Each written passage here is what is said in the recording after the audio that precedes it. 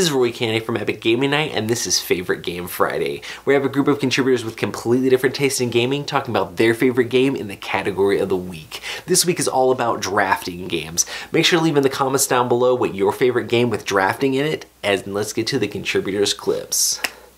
Favorite drafting game? Treasure Hunter. If you haven't tried it, try it! Imperial Settlers. Seven Wonders Duel.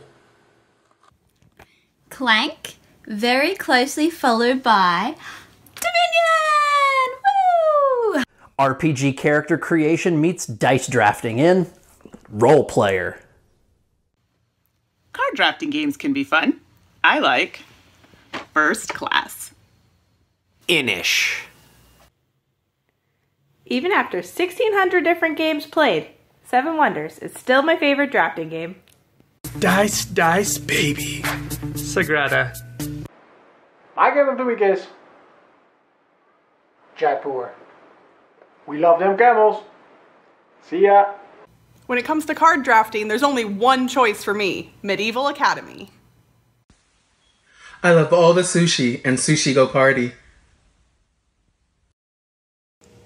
Seven Wonders is my favorite drafting game, and be sure to house rule that they have to chant when they build a wonder. I'm building a wonder. You can't pillage a village without drafting your cards. In Blood Rage. My drafting game of choice Seven Wonders Duel. It's gotta be Ginkgopolis. For Favorite Game Friday, and in honor of Blood Rage, we are drafting CMON personalities. All right. I recruit CMON marketing manager, Jared. Oh, yeah? Well, I'm gonna recruit Eric Lang. I'm pretty sure that guy is overpowered. Well, what can I say? It's how I roll. I heard I was balanced. Drafting is always a fun mechanic, trying to pull the cards you need for your strategy, but also not let your opponents get the cards that help them out more. So make sure to leave in the comments down below what your favorite game with drafting inside the game is, and also make sure to check out all of our contributors on Instagram. We're always posting things we're excited about and new things in board gaming. So until next Favorite Game Friday, I'll see you then.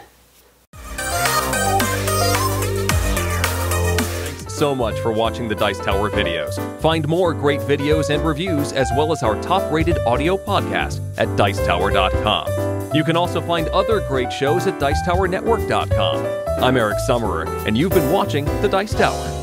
The Dice Tower is sponsored by Cool Stuff Inc., where you can find great games for great prices. Cool stuff in stock.